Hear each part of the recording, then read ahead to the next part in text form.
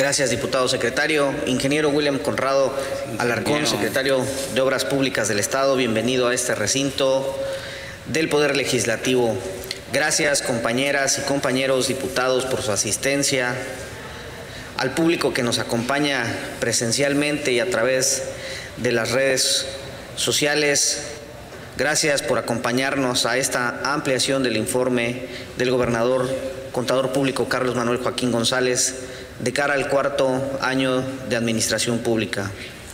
Aclarar las dudas que surgen del análisis del informe que presentará el Ejecutivo es una responsabilidad, así como lo es transmitir las dudas que la población tiene, las inquietudes de los grupos sociales y los comentarios de las diferentes cámaras empresariales respecto al contenido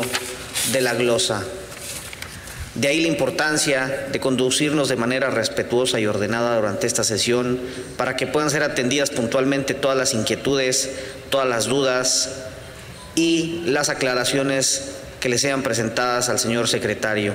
en el mejor ánimo constructivo para nuestro Estado y para dar respuesta a las solicitudes ciudadanas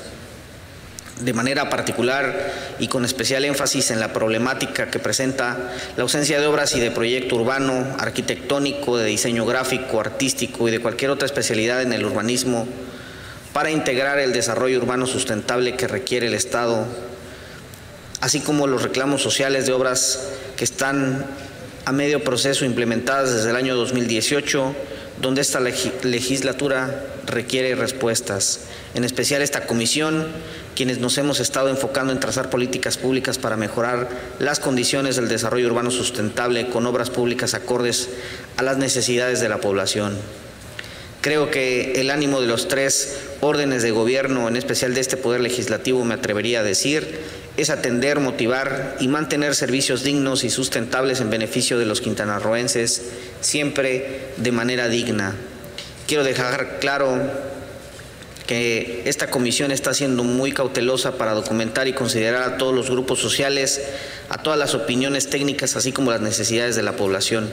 Escucharlos, atenderlos, pero sobre todo a través de iniciativas con reformas o leyes que protejan el derecho de acceso a obras de mantenimiento y mejoramiento urbano para los habitantes de este Estado, conforme a las características que nos mandata la Constitución y la Agenda 2030 para el desarrollo sostenible en cuanto al derecho a tener ciudades dignas y sustentables. Nuevamente, bienvenido, señor secretario, bienvenido a su equipo de trabajo que lo acompaña.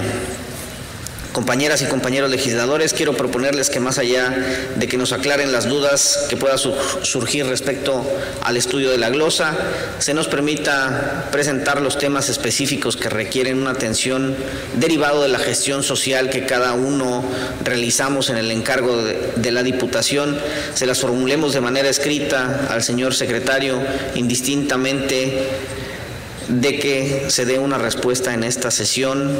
en la que formará parte de la minuta de trabajo que se levantará este día y así estemos en posibilidad de darle puntual seguimiento en ambas vías.